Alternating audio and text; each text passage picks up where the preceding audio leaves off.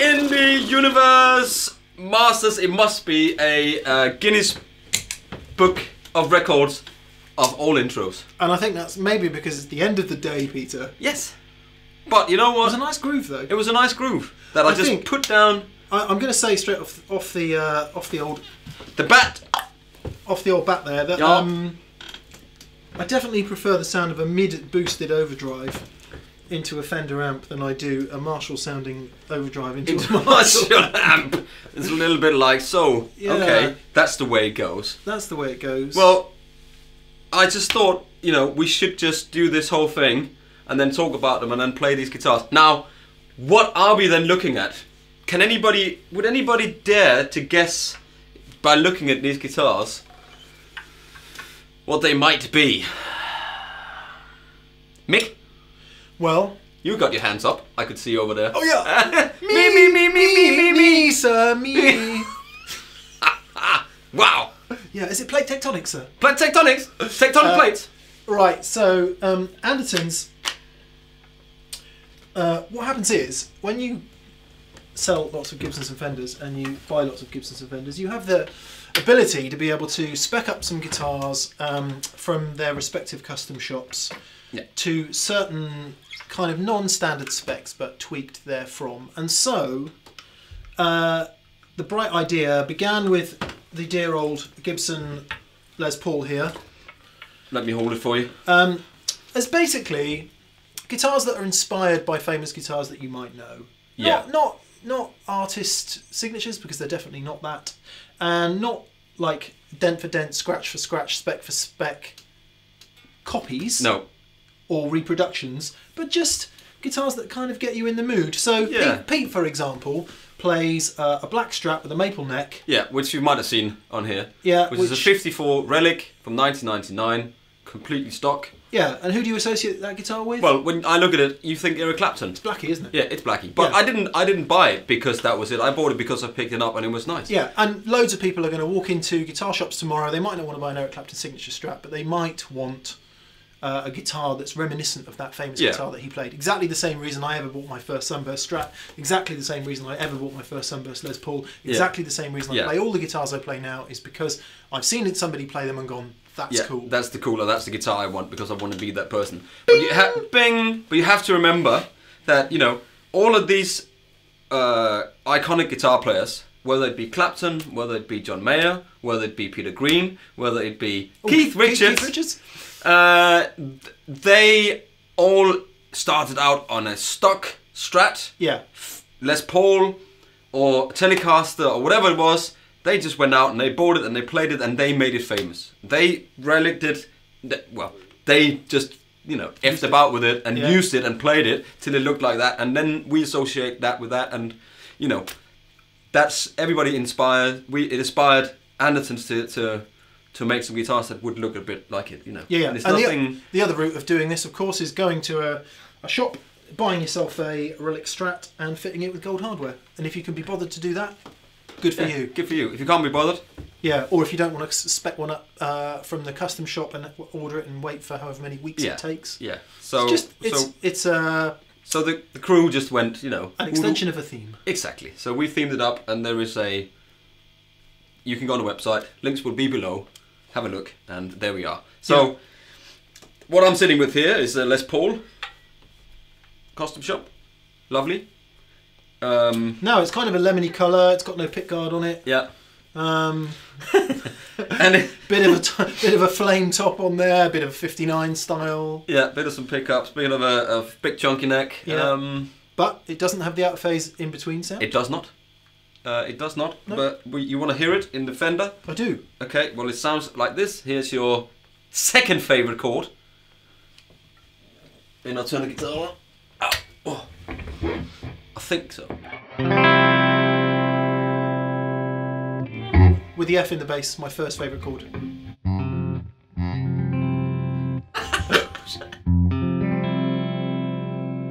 My this this neck is really fat. My thumb is just too swollen from got- from the painkillers. He's got little tiny Danish thumbs. Hello. That sounds so nice. That's good. And that's middle position.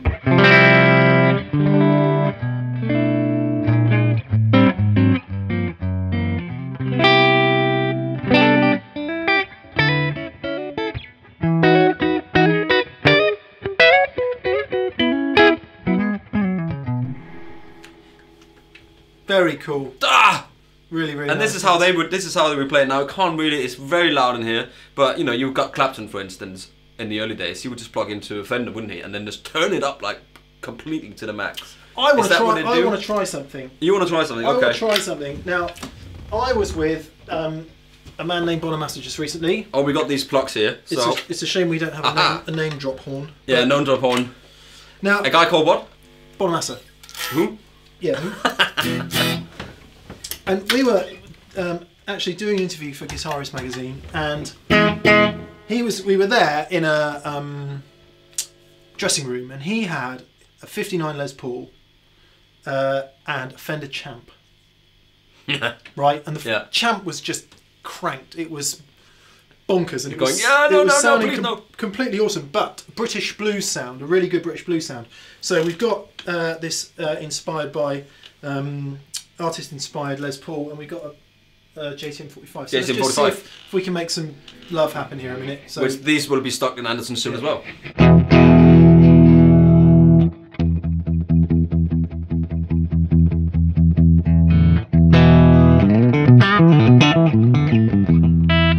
Oh man, that sounds good. sounds nice. I'm Yeah. just going to put a bit of um, pedal on here. Yeah, Too much. too much. Oh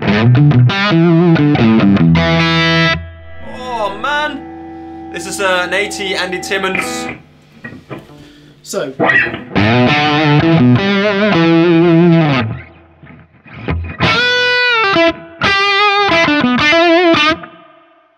Now, Les Paul fans and players will know this, but the way I always play a guitar is I turn it all up to 10 and hit it as hard as I possibly can.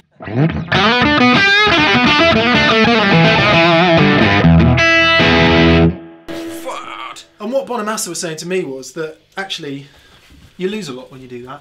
Oh, really? Because the whole thing's compressing and the amp's compressing and Everything everything's going, no, no, no, no, too much, too he much. says, yeah. do this. Turn the volume down to nine and the tone down to about half and play softly. So I'm gonna Ah. I'm gonna do the first thing. Top tip Let's, today, let's, kids. let's see if it works. Let's see if yeah. it works. Okay.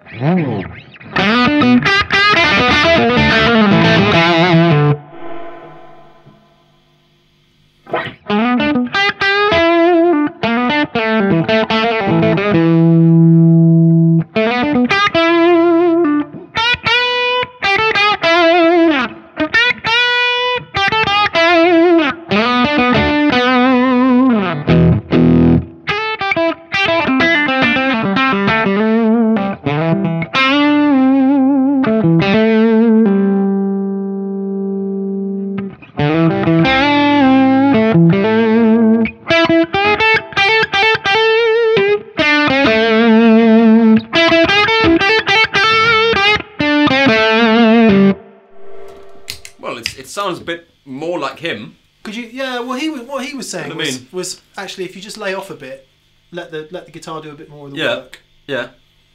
I don't know. Well, it sounds good as well. Nothing wrong with it. at Yeah, all. yeah. Pete's gonna maybe, see. Maybe just. Pete's gonna see what that sounds like in the edit and decide whether to keep it in or not. I'll keep everything in. yeah. I think the amp probably needs to be cooking a bit more, but Yeah, uh, but that's that's the problem with the JCM. It's just so loud. We can't Yeah. possibly turn it up all the way. You know. Yeah. So, but anyway, anyway, okay, it's slight a good diversion. idea. Anyway, great. But So that's a lovely guitar. yeah, and you know, all right, I think this one is probably inspired by Peter Green, but it could equally be inspired by Slash. It could equally be inspired by Jimmy Page if it had a uh, Yeah. if a, a, a Yeah. thingy on it. Let's face Yeah. it, plenty of people But this is the whole thing that I mentioned. It's just you know great Les Pauls, right? exactly, and they still do. And you know, you've got the Skinner Burst, which is uh, Bonamassa's uh, guitar, which is also you know you can you can get that as a signature, can't you? So So, so I was saying, um, yeah. So you know, any number of um, guitar players Yep. I've played a Les Paul. played bursts. That's it, really, basically. Anyway, look at this. Woo! I think actually I would hand this to you because you're more so inclined with the open tunings and the sorts. Do you want to plug into here? Uh, yeah. Okay. Why not? Wine not. Wine Ot. okay, so uh, based on a 52 type tele stroke Nocaster, although it does say Telecaster on the headstock, um, ash body, butterscotch uh, finish, butterscotch blonde, um, humbucker in the neck. Yeah. A couple of people have done that. Jeff Beck uh, had two, and of course Keith Richards. Yeah. Keith. So yes, clearly, uh, definitely in that ballpark. Lovely and light um, journeyman finish, Yep. which is in Which my they all have. in my opinion Fender's nicest relic finish because Yeah. it's kind of just right. The lacquer checking's good.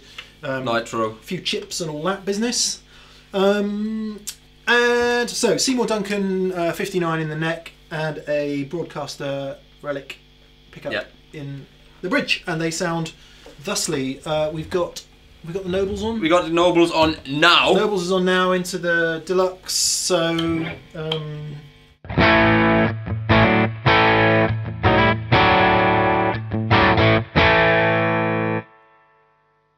and without the Nobels, it sounds a little bit spiky, but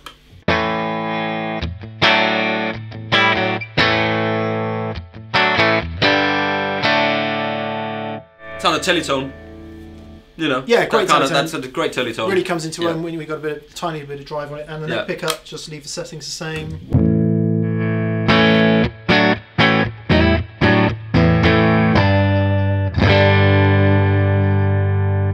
That definitely comes out, doesn't it? That's nice. Big I mean, fat, uh, it's a little bit less uh, bright sounding, so uh, I mean, you could roll the tone back a bit, and you've got a.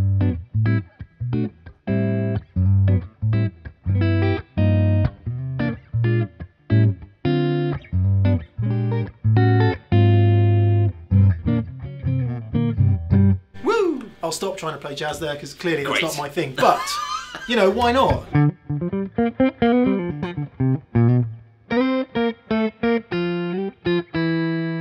But who knows? Because you know it was that era, wasn't it, when there was a lot of jazz going on, Joe of people Pass, all that stuff, and he was probably inspired a little bit like. Yeah. So who knows? So he was the- inspired by the jazz to put put a pickup in his. Uh, hey, you see what I did there? I see what you see what I did there? And uh, we'll just stick some overdrive on that Noble. pickup.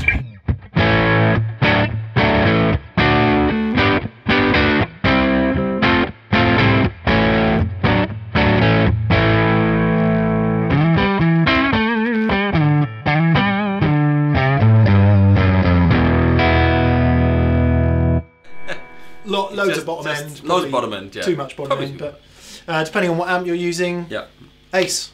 ace. Brilliant. Quite quite a huge um, discrepancy in, in super biting treble from the uh, bridge pickup and quite. So you can see a very usable, friendly guitar, actually, because you can get loads of different tones out of it.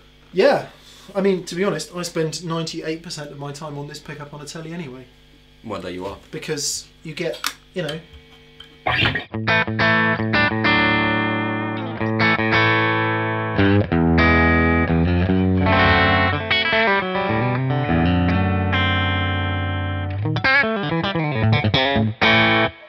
Hey! So um, that's, So that's uh, that's it. That's the telly. that's the sound for That's- me. that is the sound for you. And it sounds great. So, must we move on? Yes. So uh, I shall hand this lead back to you, Yeah. Pete, using our Planet Wave silent plugs. if you push the thing in, Isn't that clever? see how that works? Yeah, that is great. So now I can just un. We, we, um, we've kind of stopped using the Marshall because it sounds a little bit spiky. We can't really turn it up enough, um, and Yeah. for whatever reason, it's just yeah, so we just you know we go You know, with the, so- the good old. some days it happens and some days it happens less. And Yeah. today it's just happening less. So, Exactly. Yeah. Anyway, let's move on to this.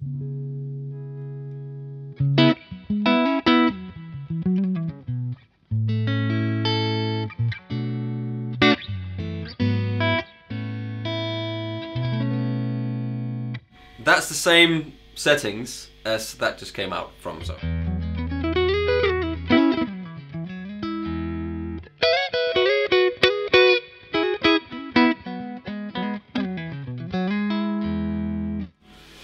It's a sound very close to my heart. Rosewood board Strat. Yeah, sorry. Is it a yeah slab rosewood board? Yeah, Uh, mint green pickguard, obviously. Gold hardware. yeah. Black finish. This finish is very thin. You It's- can really see It's really thin. it's really, really thin. It's sunk in good and proper, isn't it? yeah, Um, super thin. know what I'm saying? Gnome saying. know what I'm saying? So, you know, uh, pickups.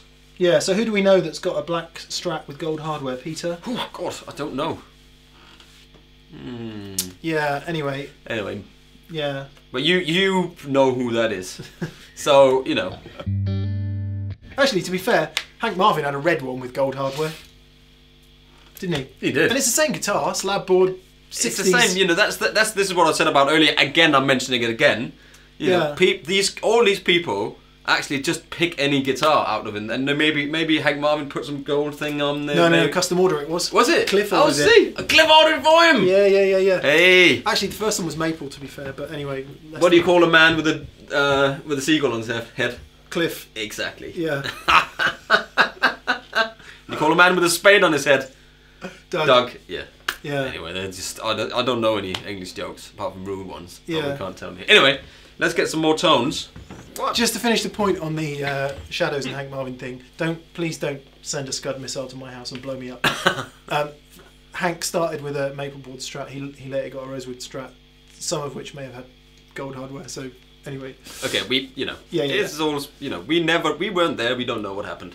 no. And if we were there, there- we wouldn't there, tell there- you. There are people who really, really, really do. So uh, Yeah. Okay. Right, Good. moving on. I tell you who else played a back strat, and that that that guitar actually reminds me more, despite the gold hardware, Okay. of John Frusciante Oh. from Chili Peppers, because his Yeah. on Blood Sugar Sex Magik, he had a, a, a black strat uh, with a one of these, Oh yeah. and there you are.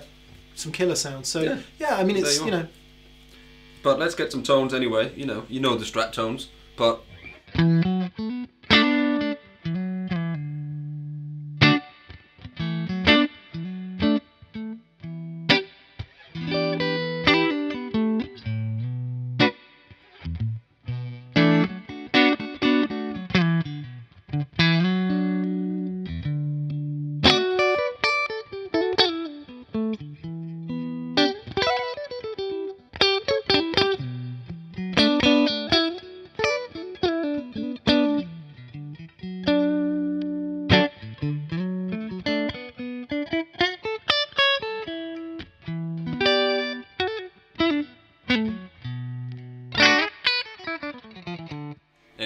and so on. and Lovely, so lovely. I just want to hear a bit of forth. Yeah. Nobels on that Let's one. come Nobels.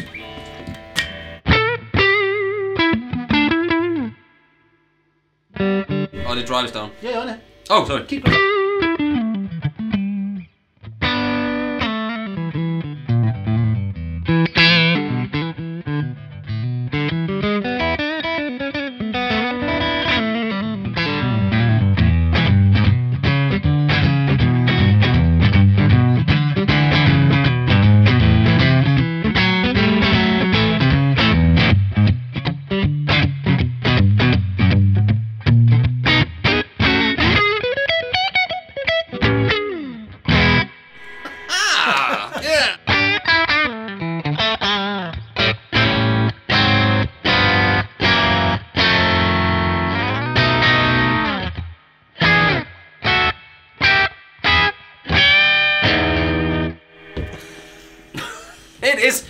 Late in the day. That does sound very cool, actually. But actually, it's one of those. nice you just, you just, you know, I. There's, it's no surprise or no secret that we both like Stratocasters. Yes. Um, I like them because they're very versatile.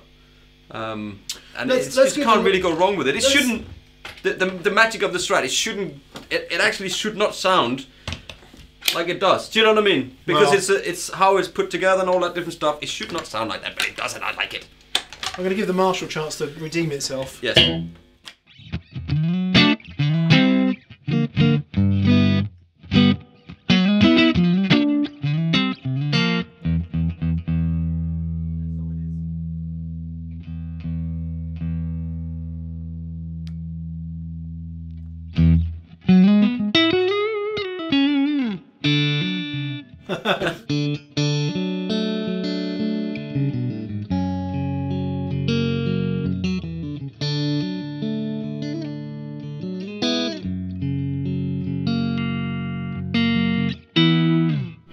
Same tuning as well, but great. There, there you go. That's the that's the that's that.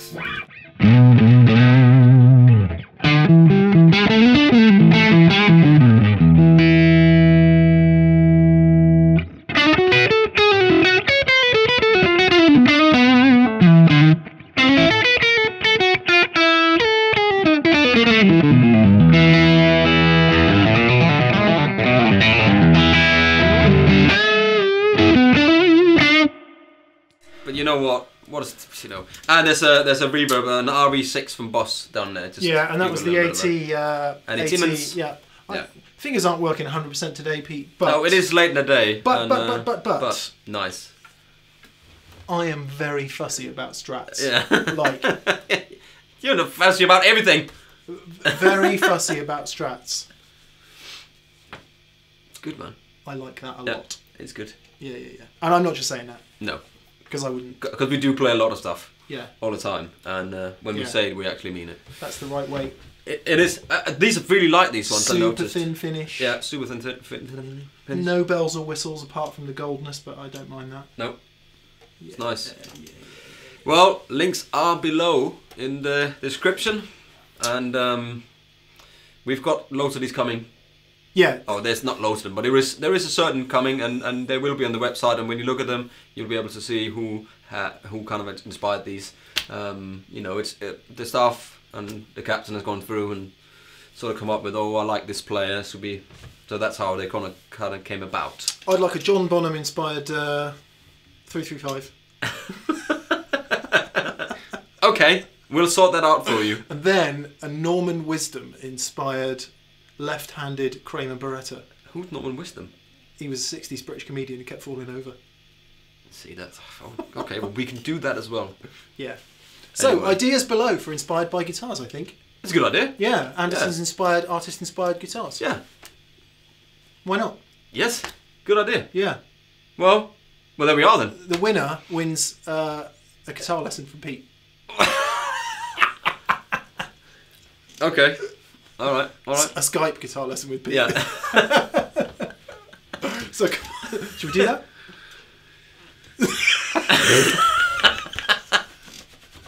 oh, Peter, I have to do this. well, you know what? That really sounds good though. And on that bombshell, On that bombshell, bombshell, well, I think we need to end this uh, episode of Guitar Paradiso on Andertons TV. He was annoying. and I'm Pete. and He's Danish. we'll see you Bye. soon. Bye bye.